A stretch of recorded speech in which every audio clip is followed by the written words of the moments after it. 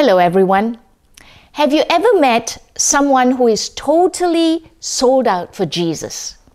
In other words, fully dedicated to God and His purposes. What does that look like? Let's explore this aspect today in our podcast on the prophetic. We want to invite you to subscribe to our podcast in our YouTube channel, in Spotify and Apple. Even share this with others on social media so that they may be blessed as well. And in today's podcast, I'm going to continue to share on the prophetic lifestyle on dedication towards God. What's dedication? In the dictionary, it says the quality of being committed to a given purpose. And as a Christian, our highest purpose is to love God, follow Jesus, obey Him, and all that He has in store. The ultimate aim is to glorify Him. That also means being dedicated to Him as a child of God, a vessel, and a servant of God. And once we have determined in our heart that we want to pursue the very path that God has shown to us, either in His Word or through a specific prophetic word, we need to learn to dedicate ourselves to it. You know, when we are dedicated, it is depicted by our faithfulness and commitment towards God's assignment until He changes the course. For most occasions, the Lord would normally increase the sphere of responsibility and gifting. However, there are times that He may divert us to something else for a season of time that He has designed for us. Can I encourage us to be wise and prudent, to seek the Lord, receive confirmation before making any huge adjustments? Get others involved in praying for you. But most times, in a normal situation, your dedication towards the Lord will be received by Him as an act of worship unto Him. We live our lives to glorify God. There was once a quote that was said, what is dedicated to God is what will last. It's true. When we choose to say, God, I dedicate this, I commit to this, that will last because it's from a heart of commitment before Him. Jonathan Edwards, a famous preacher, once said in the number four of the 70 resolutions he made, he said, Resolved never to do any manner of thing, whether in soul or body, less or more, but what tends to the glory of God. For whatever is built or rebuilt to stay strong, it must be dedicated to God. And I pray that we would do so as a prophetic people. So, what is dedication like as part of our prophetic lifestyle? Can I suggest to you it's a daily choice to walk faithfully in obedience towards God, our Lord and Savior. Remember that song? I have decided to follow Jesus. I have decided to follow Jesus. I have decided to follow Jesus. No turning back, no turning back. The cross before me, the world behind me. That's what it's like to say, God, you are my focal point. You are the subject of my worship where we convicted to devote ourselves to the Lord as a personal act of worship, presenting yourself to God as a living sacrifice is heartfelt, conviction led. Romans 12, verses 1 to 2 says, I appeal to you, therefore, brothers, by the mercies of God, to present your bodies as a living sacrifice, holy and acceptable to God, which is your spiritual worship. Do not be conformed to this world, but be transformed by the renewal of your mind, that by testing you may discern what is the will of God, what is good and acceptable and perfect before Him. So that's the first thing where we say, God, it's a daily choice that I make to commit and to dedicate myself to you. A second thing is being pliable for God's design and purpose. Can we be like that clay in the hands of the master potter?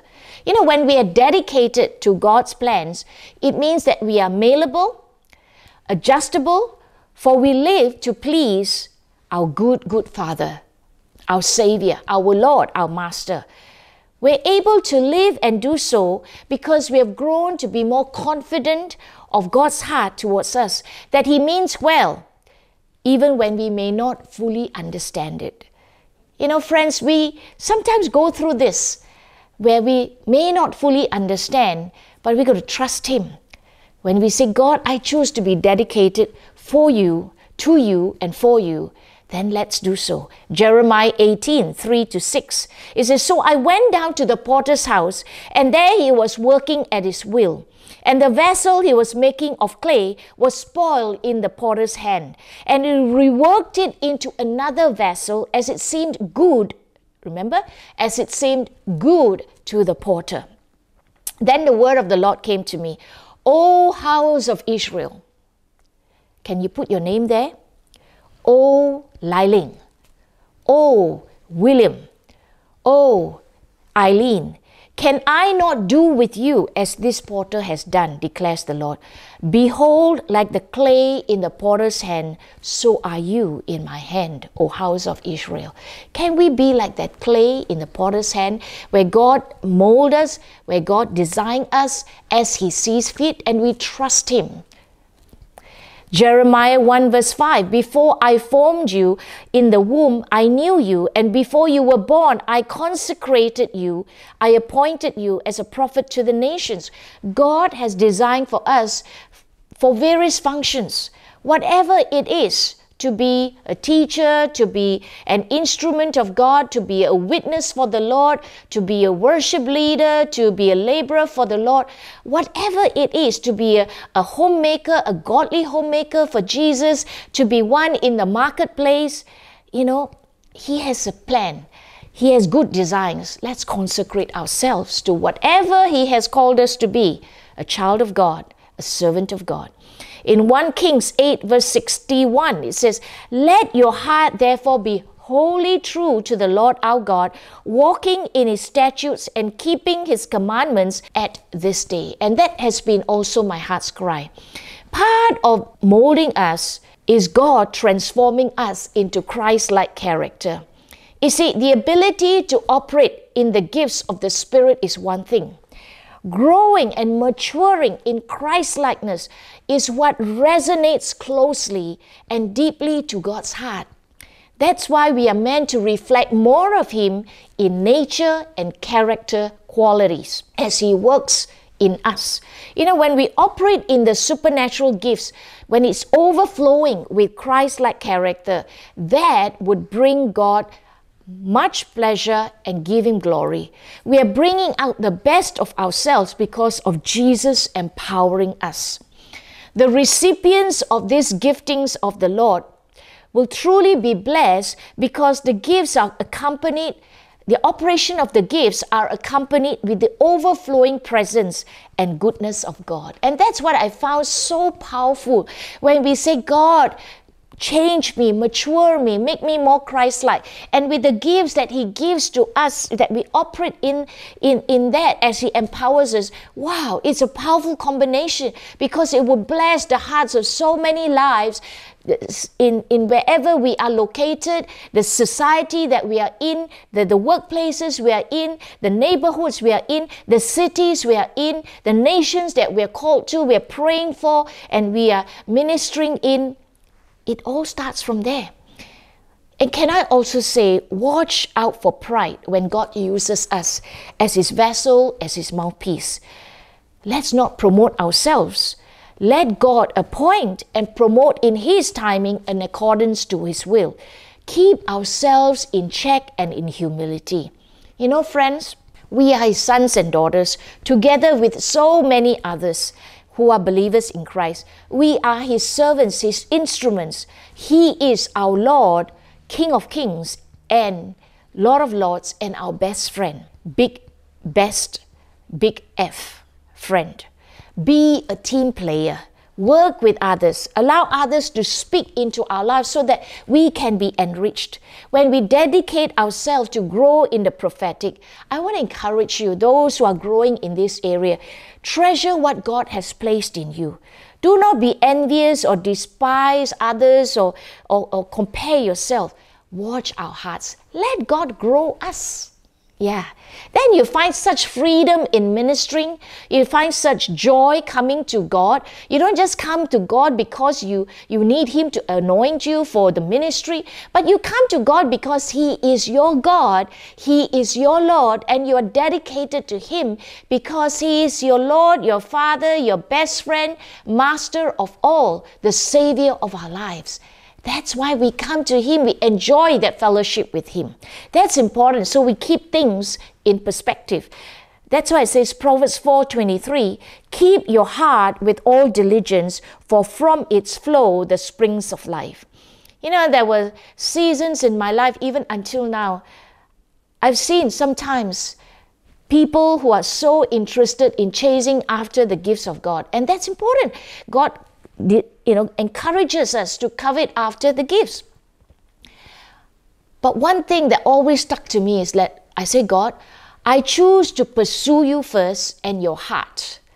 And in doing so, I pursue the many different things that you have in store for me to help me to be a better witness for you. But firstly, I choose to pursue the giver, big G, and the heart of God. Because when we do so in that attitude, in that place of humility, in that place of constantly depending on God, He can mold us, He can transform us, and He can pour more into our lives because He can entrust us with the little that we are, you know, continuing to uh, minister in. More, He would entrust more because He sees that faithfulness and that heart that is given to Him and Him alone. It's not about ourselves being so good in this or that, but it's about pursuing the one who empowers us, the big G, the giver himself. Because all honor goes back to him, not about us. It's always about him. Thirdly, can I bring up to us? Be a cleansed vessel. You know, as prophetic people, sometimes our spiritual hearts can get clogged up. Distractions could come in, discouragement could come in, disillusionment could come in, disappointment could come in. This can all occur in our lives. So, can I encourage us to be self aware and allow others to speak into our lives, to watch our progress or sometimes our deviations, and to actually hold us accountable? You know, when we are feeling numb or spiritually unaware, or sometimes our conscience get seared, all these can taint our lives and eventually negatively impact upon what God has called us to be and to do. It can color the way we minister. So let's be an instrument fit for the Lord's purposes. Watch our lives closely, our thoughts, our hearts, our speech, our actions, our motivations, be willing to give it all to the Lord and surrender this on a daily basis so that He can cleanse us, so that we can be vessels that truly honor the Lord. You know, every day I say, God, help me to give myself entirely to you. And I trust you for your transforming work and outcome in my life. God, I want to reflect more and more the image of your Son.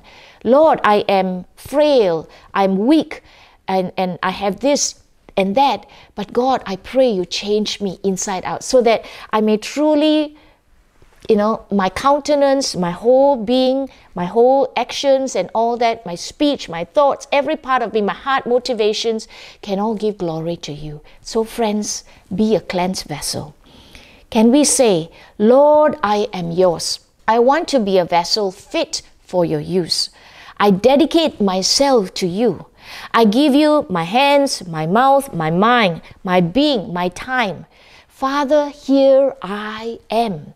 I am yours. Do with me whatever you want to do today. Those few sentences composed by someone who's willing to dedicate oneself to the Lord's work and to Him. That's why in 2 Timothy chapter 2, verse 20 to 21, it says, now, in a great house, there are not only vessels of gold and silver, but also of wood and clay, some for honorable use, some for dishonorable.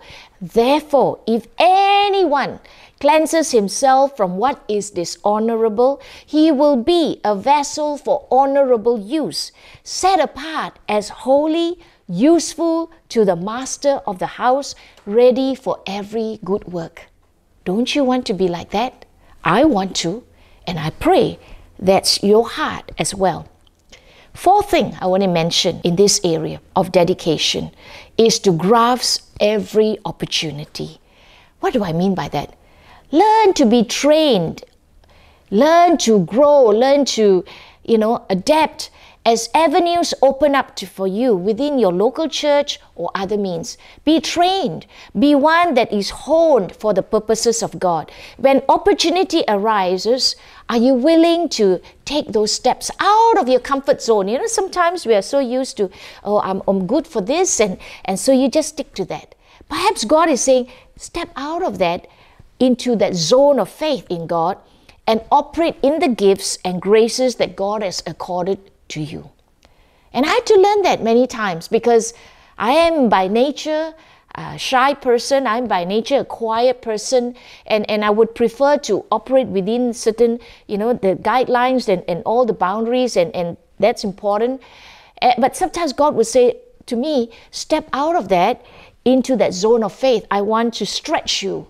And will we allow ourselves to be stretched by the Lord so that more can be ministered to, more can be um, really come to encounter God for themselves? You know, break away from fears. Expect God to lead us day by day.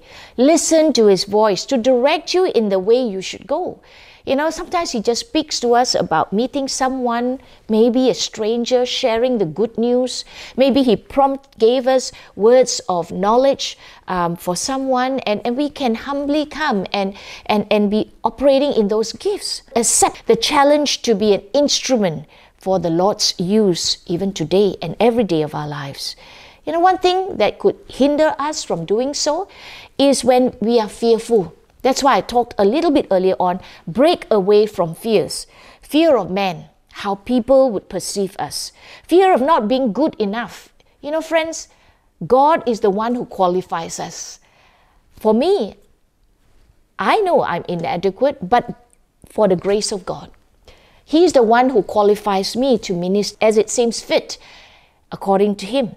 Fear of unrealistic expectations. You know, sometimes we place those unrealistic expectations on ourselves or what others may have placed upon us. We need to watch those areas and, and, and be, how do I say, honest about it and say, I'm I don't feel I'm capable of this. But if you see fit, you trust the Lord in working it through me, then let's see what God does. And that's where we come back to God and say, Lord, I, I need you. I cannot make it on my own. Or even legalism, you know, let's not do things like a Pharisee, that sort of thing. Or being religious, you know, wanting to be seen, to be so and so. But seriously, the one whom we are meant to please, we live for the audience of one, the Lord Jesus Christ. Or even being performance orientated you know, it, it's not about performance. It's not about, wow, you are good at this and, and that. It's about, Lord, I just want to please you. And in doing so, may many lives come to encounter you, experience your goodness, come to receive you as their Lord and Savior. It's all about Jesus, the Lord, Master, and Savior of our lives, not about us. 2 Timothy 2, verse 15 says, Do your best to present yourself to God as one approved, a worker who has no need to be ashamed, rightly handling the word of truth. Just as we rightly handle God's word, let's also rightly handle all that God has placed in our lives, His gifts, His talents, and treasures in our lives. Let's be so. Psalm 119, verse 44 says, I will keep your law continually forever and ever.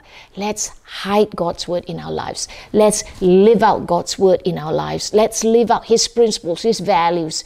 Let's be a people that would shine for Him in all that we are, in all that we do as a prophetic person, that we may be dedicated fully to His plans and purposes, to His heart's concerns, and to the very thing that He has called us to be, the very someone that He has called us to function in.